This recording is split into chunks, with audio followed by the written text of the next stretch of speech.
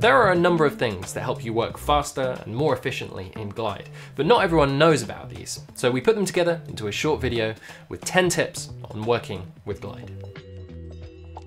Depending on the size of your screen and if you're working in tablet mode or not, things might start to get a little squashed, and a lot of people don't know that you can resize the left and right hand panels.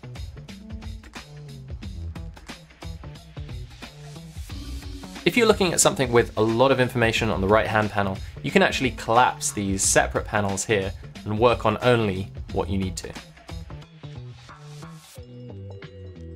Instead of clicking on the top bar with your mouse, you can use the key commands Alt or Option 1, 2, and 3 to switch between the different areas.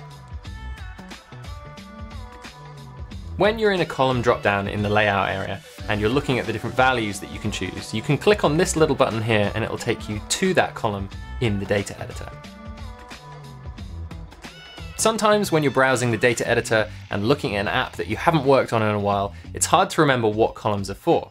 If you click on the drop down of the column and click Find All Uses, you can see exactly where that column is being used, both in other computed columns and in components. And if you click on the button, it'll take you straight there.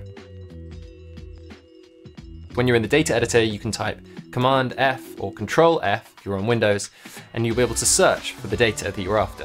For example, if I type Alan, I'll see all the places or the cells where Alan exists, and if I press enter, I'll be able to go through those different places. I can also press Shift Enter to go back through those places.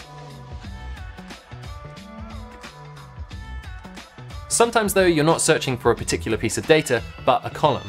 And the data editor can get a little bit long if you've got lots of computed columns. In the top right, we have a different search function, which is find column.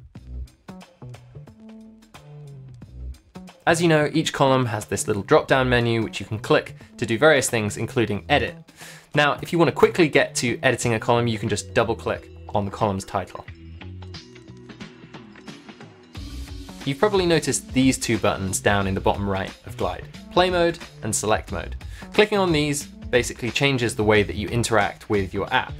With select mode, you're clicking on components and the things within your app, and that's changing the way that you edit it. With play mode, you're just using the app just like a user would.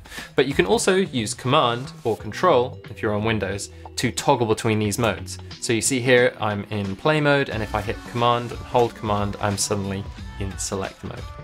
Select mode also works with tabs. Most people tend to use them with components, but if I click on this tab here, we're going to go to that tab and also have the controls for that tab on the right. And finally, there's the right-click contextual menu. If I right-click on my app now, I'll see a number of different things that I can do, and their keyboard shortcuts. A particularly useful one is the copy all function. If I copy all components now, I can go to a different screen and paste all of these exactly as I've set them up here.